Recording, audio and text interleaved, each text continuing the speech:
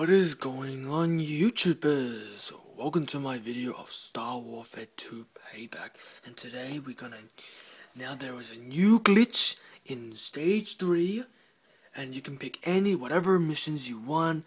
I'll most likely pick um, normal because don't never pick historic because that would be like you get killed.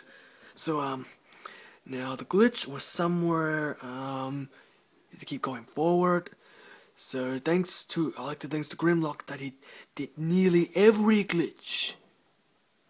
But does he seen this glitch? Yes or no? Maybe not.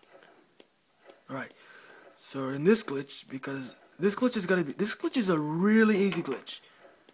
But I know it's a little bit blindfold and just like, wow.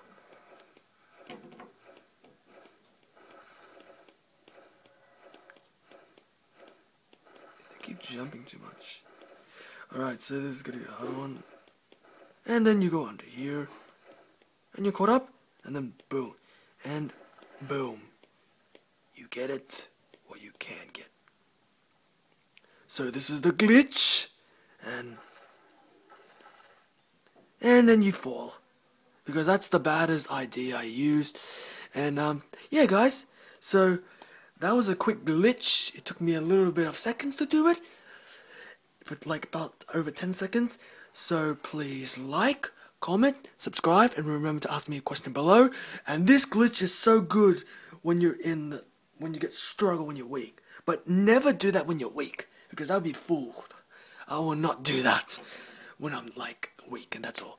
So, thanks for watching my video. So, see you guys. Peace.